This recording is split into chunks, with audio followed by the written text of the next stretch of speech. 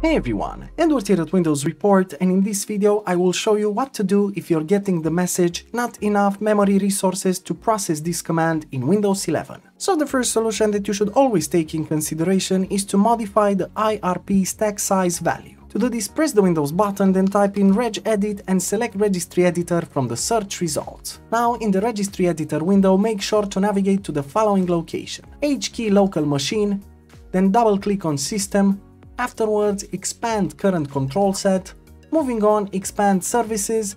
Then scroll down until you find the LanmanServer key and double click on it. And in here on the right side, you have to create a new dword. So right click on an empty space, hover over new and select the dword value. Now you have to name this dword value the following. IRP stack size. The last thing you have to do is double click on it and make sure that in the value data instead of 0 just type a larger value like 1 up until 12. Press on OK and then save the changes.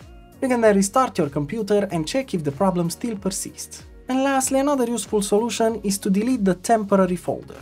To do this, press the Windows key plus R combination, then in the Run window make sure to type in the following command. Now press on OK, and as you can see, the temporary folder will show up in an instant. Now on the right side, make sure to click on a folder then press on Ctrl plus A and then Shift plus Delete to delete these items.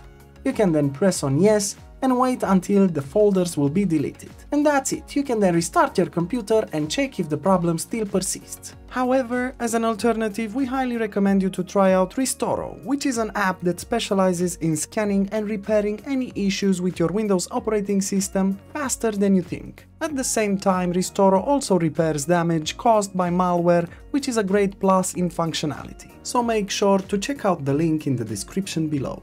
This was super easy, isn't it? As usual, for more information and details, you can check the article in the description below. And if you enjoyed this video, just make sure to like and subscribe to our channel. Thank you.